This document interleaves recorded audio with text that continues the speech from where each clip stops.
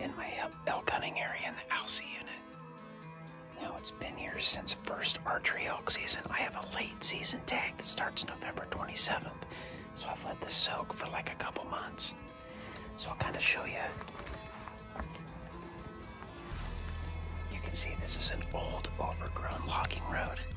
And this is all like probably like 25, 30 year old reprod. As you can see elk use this to travel back and forth. I found lots of sign. In fact, you can see droppings right there. So, again, this is Rage Cam 4. So we'll see what we got.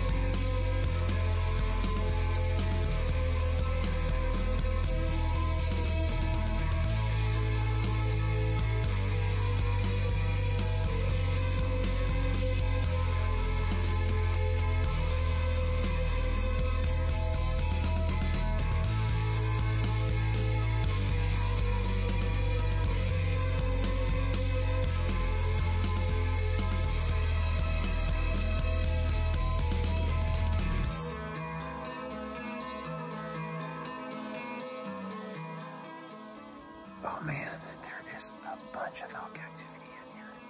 So I'm really hope hopeful that I can find something when archery season starts on November 27th. So I'm gonna get my camera set back up